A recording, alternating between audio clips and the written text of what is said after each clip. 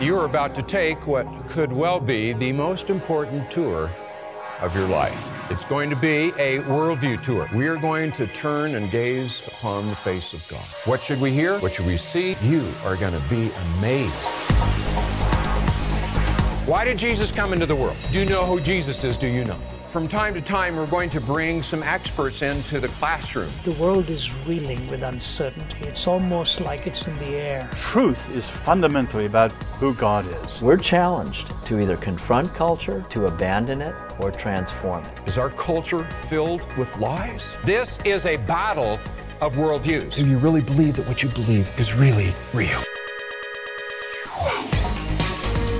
Evil. What is it? Where did it come from? Why is it in the world? Who is God? Who is God? Who is man? What does God say about who man is? What takes us captive? What is insanity? What is the world's view of work? God is a God of social order.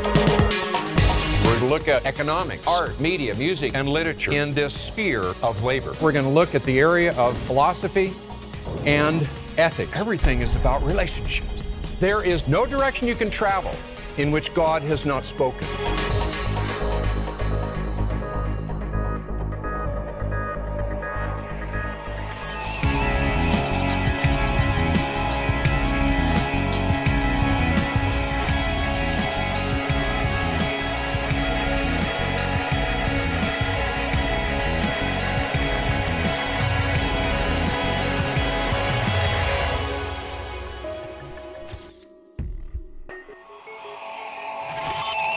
I know I exist? And if I do exist, why do I exist? If I think I exist, where did that thought come from? We're going to build the final pillar history. We're going to look at the American experiment.